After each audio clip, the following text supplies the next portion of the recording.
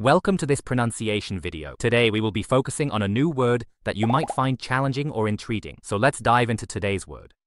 Noriki, which means, Feeling of riding in Japanese. let's say it all together. Noriki. Noriki. Noriki. One more time. Noriki. Noriki. Noriki. Thank you for joining us on this adventure in pronunciation. Remember, language is a journey, not a destination. Keep exploring, experimenting, and expanding your linguistic horizons. We'll see you next time.